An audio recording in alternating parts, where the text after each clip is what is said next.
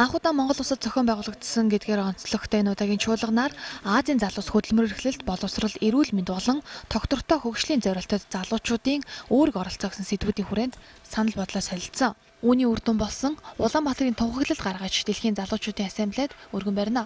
Мөн нэгдсэн үндэсний байгууллагад хөргүүлэх тогтвортой хөгжлийн зорилтод Азийн залуус саналаа нэгтгэсэн бөгөөд тун удахгүй хөргүүлэхээр олжээ.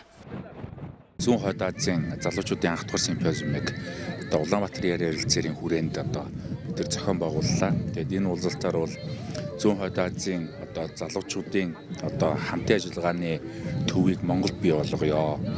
Тэгээд бүх улсуудаас одоо 2 2 ажилтны цалинг тухайн улс нь дааж одоо Улаанбаатарт Монголын залуучуудын холбоон дээр энэ одоо зүүн Азийн залуучуудын төвөөд ажиллуулахаар ингэж тохирлоо. Тэгэхээр энэ ажлын хүрээнд бас бид нэр зүүн хойд Азийн залуучдын тунхаг гэдгийг бол гаргаж байгаа. Тэгэхээр зүүн Азийн чиглэлээр одоо ажиллах бүх ажиллагааны төв бол Монгол болж чадлаа гэж дүгэж болно.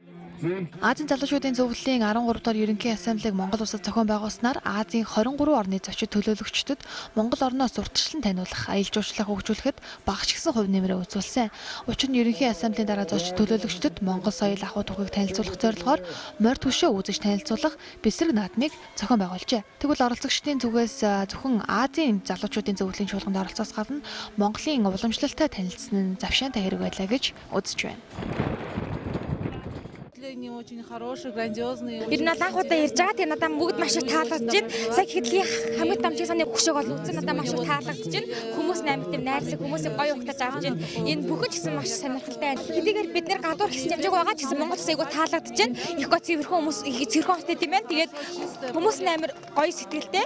Тэгээд нөгөө олоосоо наадан болж байгаа учраас хоорондоо мэдээ солилцох маш том боломж олж аваад баяртай байна. Это борьба, да, называется, да, борьба. Би анх удаа Монголд ирж үзээд байна. Таны хувьд Монголд ирсэн анхны сэтгэл ямар байв? Монгол орн түүх солиор дүүрэн юм шиг санагдлаа. Энд би бүх барилдах, морионох гэд миний өмнө харж байгаагүй олон зүйл байна. Эдгээрийг үзэхэд үнэхээр сонирхолтой байлаа. Өнөрсөнөөс Монголын соёлын тухай нэн сайн ойлгосон байна. Тэгээд энэ формын тухай олон сайн тэнэлтэй болсон. Баахан ялгаа байна. Тэгэл үнэндээ одоо амьдралын тавай бол